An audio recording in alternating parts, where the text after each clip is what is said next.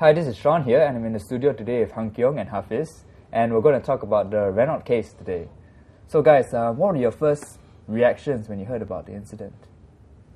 Uh, I think the first thing that crossed my mind was how dangerous it actually was. I mean, you've had you have 19 other drivers behind him. You have Singapore volunteer marshals on the track, and if anything happened, you know, it could have been really bad.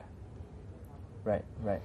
Yeah, same same thing here. I was like, I was thinking, what if I was thinking actually I didn't think it would be true because because I didn't think that Nelson Piquet would be that stupid. But um, as to you know, risk his life, risk the lives of others to to cheat. Looking back um, and knowing that it was a stage crash, like, did that evoke any emotions in you? I mean,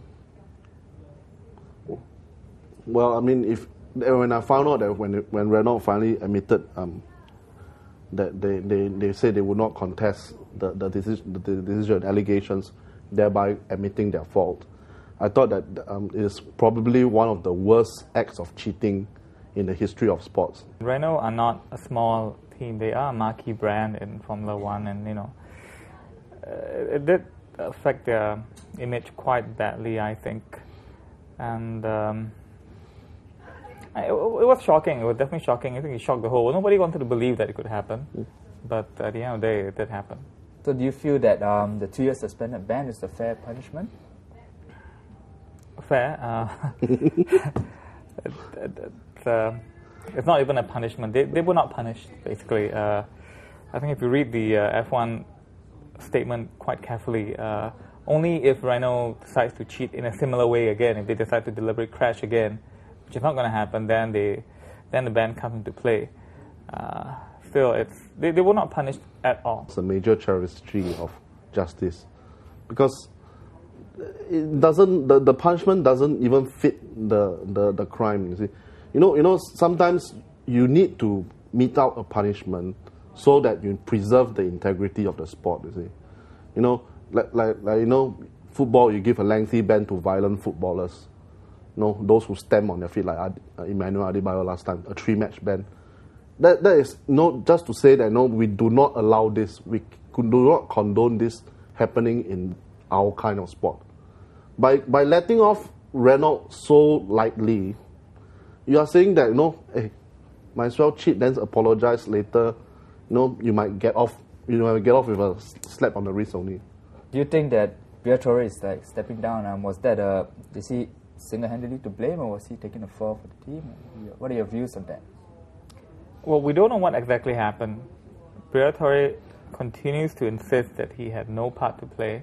He did not help Piquet to crash. He is about to sue the FIA for banning him from the sport. So right now we don't exactly know what happened uh, behind closed doors. Uh, is is Briatore the only person to blame? I mean, of course not. Piquet and Pat Symonds were involved. Uh, Renault are the team to, to, to, to, blame. Well, of course they, they have responsibility. I mean, they they have to uh, take a lot a large portion uh, portion of the blame. Uh, I think by the end of the day, when it comes to the punishment, I think it is the FIA who is at fault. I mean, I mean we have to understand that uh, Formula One is under a lot of pressure. They they are losing a lot of money and uh, if they lost Renault, the, the, the sport would have been hurt really, really badly. How about Piquet himself? What do you think um, about his future and his career? I mean, his image. his career is gone, man.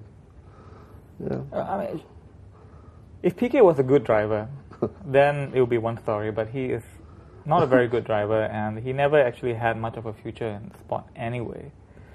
You know, if he does come back, he'll be with another small team. He's not going to get a big ride ever again because of what he did. Like I said, at the end of the day, it depends on how good a driver he is. Mm. I mean, somebody like Michael Schumacher, mm. he has cheated before, yep. and he's been punished before, and he's always bounced back, and he's remembered as being a seven-time world champion, and not a cheat. But Nelson Piquet, he's not going to achieve anything, so at the end of the day, he's going to be remembered as a cheat.